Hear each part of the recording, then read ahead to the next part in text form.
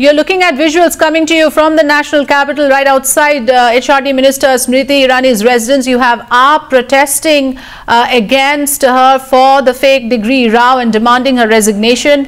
AAP uh, protesters are right outside HRD Minister Smriti Irani's residence and uh, they are of course demanding her resignation. At this moment you can see there's a huge uh, uh, turnout with several people holding banners and raising slogans. There's a huge police presence as well.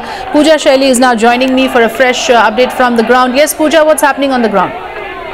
Student wing of the Aam Aadmi Party that is protesting right outside HRD Minister Smriti Irani's residence. Uh, what they're demanding is, like we know yesterday, the court, the trial court in Delhi took cognizance of a plea against the affidavits that were submitted by Smriti Irani during three elections, including 2004, 2011 and 2014.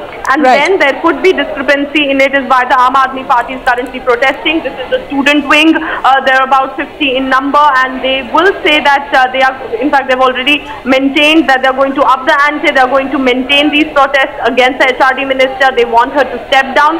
And why the Aam Aadmi Party is basically doing this specific protest is to counter all the attacks which were made against the AAP during the Jitendra Singh Tomar's case. Right. And therefore, perhaps to get back to the BJP and to the minister is why the Aam Aadmi Party student wing organizing this protest. Right, but is it really a question of get back? Because there is a point if Aam Aadmi Party is saying when you acted with such promptness against Jitendra Singh Tomar, why not show the same uh, towards Smriti Irani as well? How is her case any different, especially with now the court taking cognizance and saying that there uh, is answerability that Smriti Irani uh, has to face? That's exactly what the Aam Party is saying. What they are saying is that the manner in which he was arrested and he was cross-examined is what Smriti Irani should also face. Of course, the BJP is defending the HRD minister.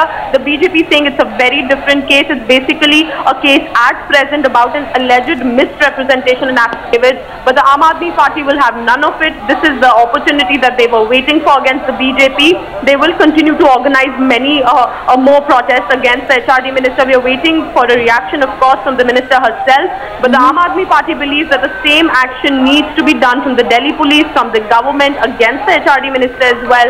Will that happen remains to be seen. But currently outside her residence is this protest by the student wing of the Aam Aadmi Party, and they are continue uh, they continue to demand not only her resignation, they do they demand not only for her to step down, but also her arrest and cross examination in the case. Back right.